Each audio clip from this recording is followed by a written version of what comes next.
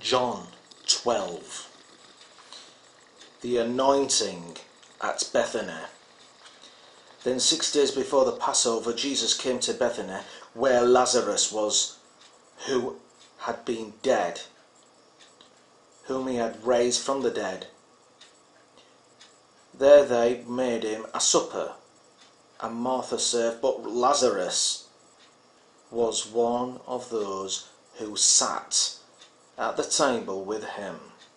Then Mary took a pound of very costly oil of spikenard, anointed the feet of Jesus, and wiped his feet with her hair. And the house was filled with the fragrance of the oil.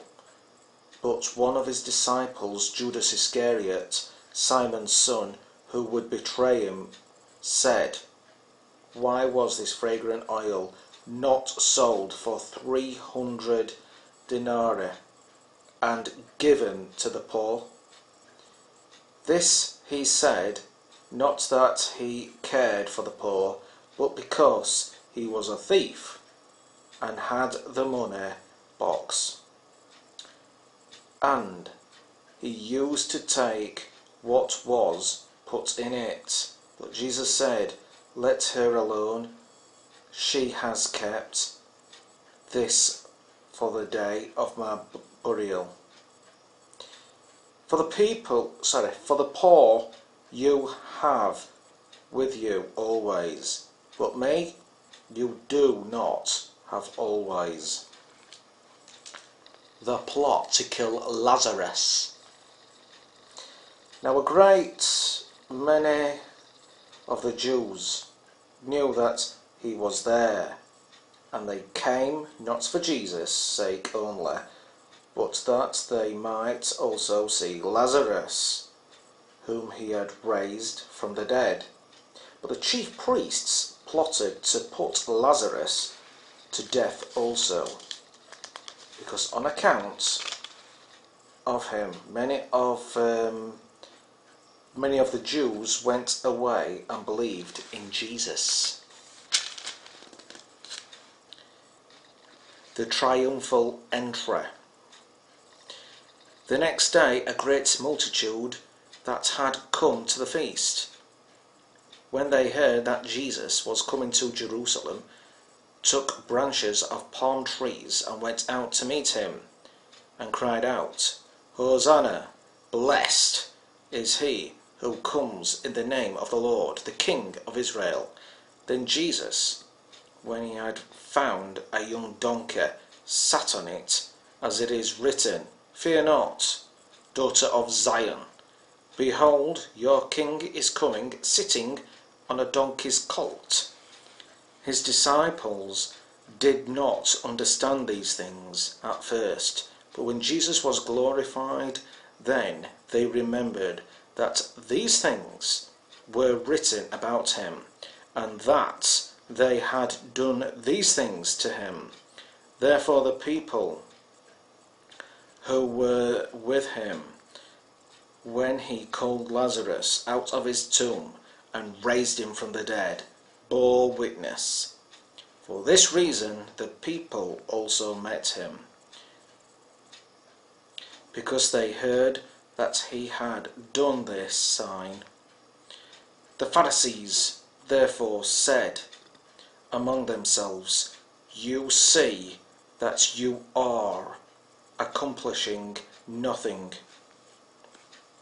Look, the world has gone after him. The fruitful grain of wheat. Now there were certain Greeks among those who came up to worship at the feast.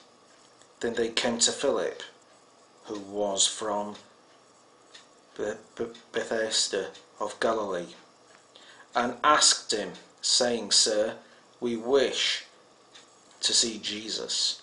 Philip came and told Andrew, and in turn Andrew and Philip told Jesus. But Jesus answered them, saying, The hour has come that the Son of Man should be glorified. Most assuredly, I say to you, unless a grain of wheat falls into the ground and dies, it remains alone.